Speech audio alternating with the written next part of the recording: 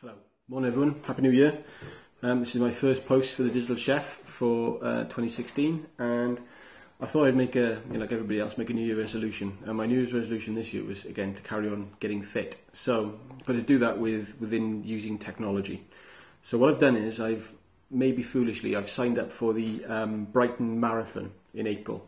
Um, I've never run a marathon before. Um, I've trudged my way through a couple of tough mudders and I've done two half marathons, but I've never ever, the thought of going around twice on a half marathon is quite daunting.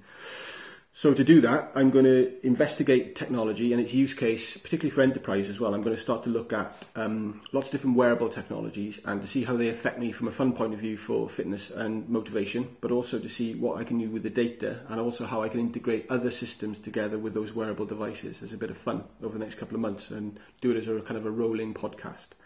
So the devices I'm going to test, I'm going to test, um, this is a Fitbit Surge.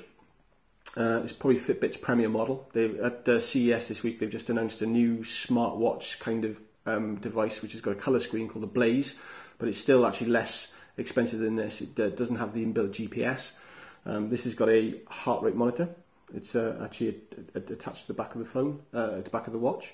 So we're going to test that and see how accurate uh, the Fitbit is and look at the companion app. Um, I've also then got um, Microsoft bands. This is the Microsoft Band 1 and this has just been the new Microsoft Band 2. Um, the Band 2 has probably got the most sensors of any device on the marketplace at the moment. It's got 11 different sensors, including a barometer, a UV sensor. Um, they've both got heart rate sensors, and I'm going to test to see how accurate the heart rate monitor is on the Band 1 versus the Band 2 from a cost point of view, because you can still buy the Band 1s, and lots of enterprises are still looking at using the Band 1s for notifications and in, integrating these within enterprise systems for push notifications to see how that works as well. So I'm going to test those side by side on my wrist and see how accurate the data is that comes back from those devices. Um, we're going to obviously look at the companion apps that come on the um, smartphones that come with those uh, quantified self devices. Um, alongside that, we're also going to look at carry on tracking things like the the more basic um, sensors, things like the Nike FuelBand SE, and to see kind of some examples of co-creation that people have used these as well. So, uh, for instance, I'll, which I'll do in a later podcast, how this is low and low linked to my um, life insurance for my mortgage product. I'm going to show you how that kind of system works as well. Um, those devices are all pretty much trackers. So these kind of track uh, metrics about me. I'm also going to look at some more proactive type devices as well and see kind of um, how they fit and feel as well. So I'm going to, for, for instance, one of those devices is a, a wearable called Moov. It's got multiple sort of gyroscopes and accelerometers inside it. This is more of a proactive device. This device is designed to help you train. So it's designed to help correct the way that you exercise and the way that you train as well. So it gives you notifications, audible notifications on um, how effective your gait is, is your gait slowing down, Are your heel striking, foot striking, and this is designed to be worn on the ankle as well. So we're going to test the move and see how that works. Um, they're all kind of wrist worn um, wearables. I'm also going to test this rather fetching garment. This is a an OMsignal shirt, basically a smart shirt. And we're going to start to see more and more electronics built into clothing over the next couple of years. Um, this stuff's being announced at CES this week.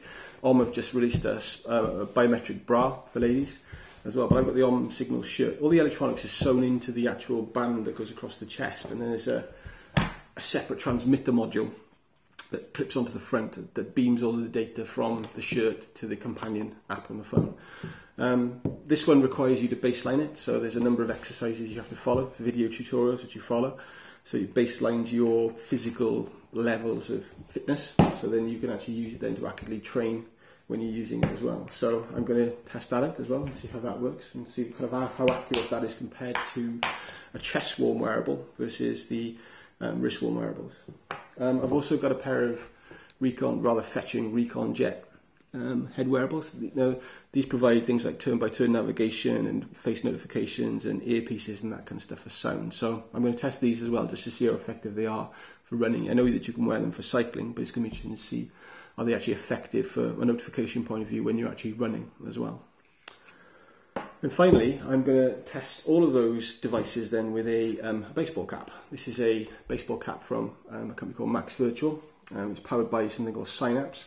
And what they have is it's got bone conduction speakers um, built into the headband so that when you wear the baseball cap, and you pair it with your phone, you haven't got any earphones in, which is the bane of most runners having these in in ear earbuds to hear notifications. Apparently, these are bone conduction speakers, so the sound is transmitted inside your skull. So I'm going to pair the cap up with the smartphones and then listen to the notifications for things like mile tracking, kilometre tracking, um, cheering on, motivation, that kind of stuff, and also see how accurate I can make it from um, an integration point of view by getting push notifications from other systems, maybe corporate, maybe enterprise systems. So that's the plan. Um, very brief podcast to start off with, but um, I'm going to do these on a rolling basis over the next um, two months, two months, uh, two three months up until April. Um, field testing the stuff as well. So I'll do runs, field test, and we'll have a look at the actual data and compare the data that comes back on the smartphone apps themselves, just to see how accurate these are. Okay, so hopefully that'll be vaguely interesting. Uh, at least we can field test some of the technology and just to see kind of how accurate it is. Okay, thanks very much for watching. I'll see you soon. Bye.